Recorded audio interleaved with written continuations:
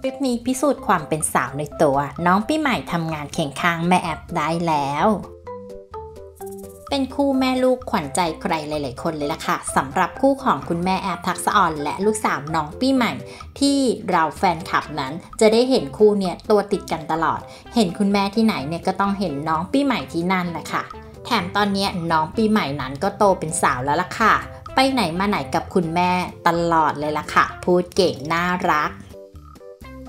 ล่าสุดน้องปีใหม่นั้นก็ช่วยคุณแม่ทำงานหาเงินได้แล้วล่ะค่ะ เพราะว่าได้รับเล่นโฆษณาตัวใหม่ของโทรศัพท์มือถือแบรนด์ดัง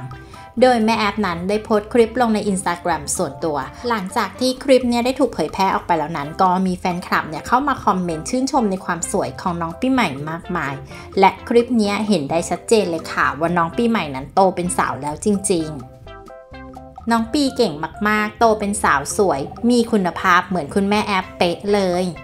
น้องปีเก่งมากน่ารักมากๆค่ะ โห ปี เพื่อนรักเป็นดาราสาวแล้ว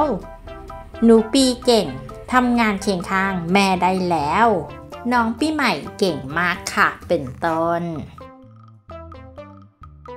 บอกได้เลยค่ะว่าเก่งมากความสามารถไม่แพ้คุณแม่เลยล่ะค่ะ